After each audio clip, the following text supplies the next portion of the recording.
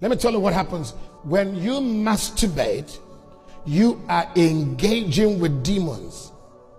Masturbation is sex with imaginary demons.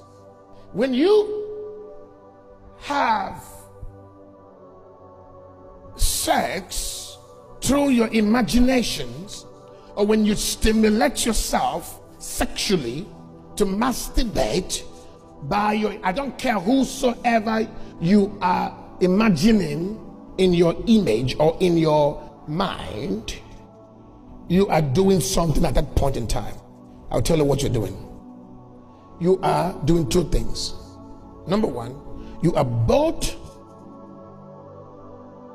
bewitching the person that you are imagining to stimulate yourself sexually, and you are also having sex with a demon of that person's image.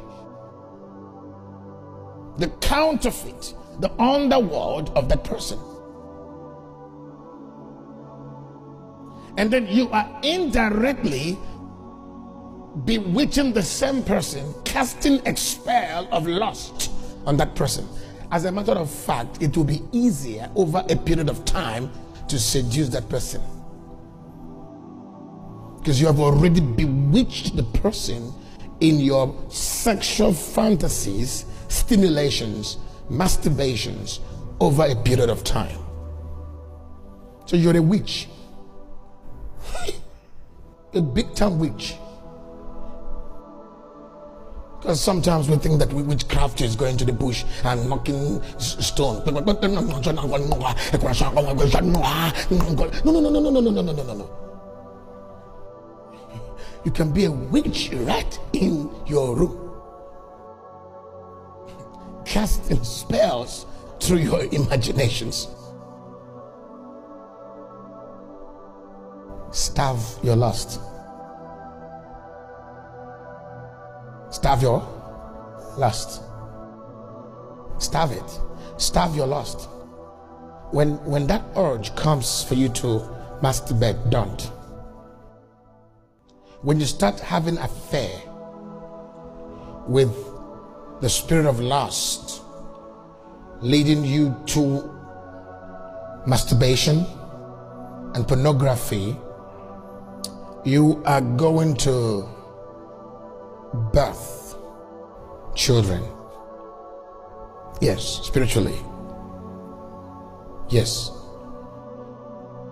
Every intercourse is anticipated a procreation. Procreation is anticipated of every intercourse. Please understand that mental intercourse will produce or will procreate depression, rejection, insecurity, anger,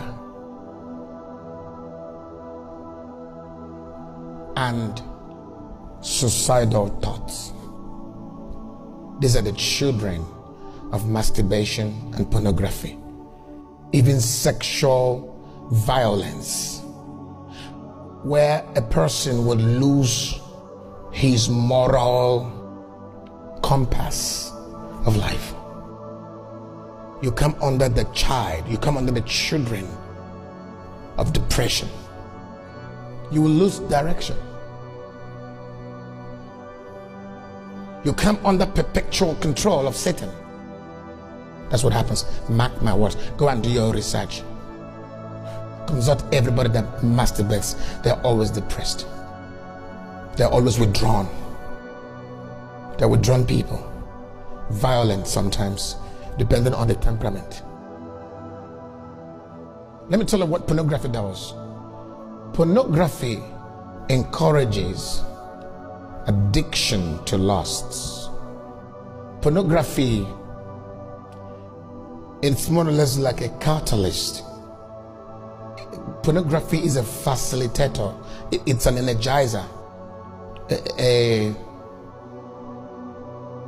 a mobilizer. It, it, it, it, advances, it, it feeds, it nourishes lust. Lust can, can die if you don't nourish it. If you don't, if if if you don't nourish lusts, it will die. Lust is so, it's so. Lust is is is like uh, the sperm of a, a man. It doesn't last. It will come out to just die off. When the sperm is released, it has a lifespan of five days or a couple of days. It dies. Lust is that way. So lust is like the sperm of Satan that creeps into a man's consciousness. But pornography, masturbation, and sec- continued sexual intercourse continue to feed, nourish, expand, procreate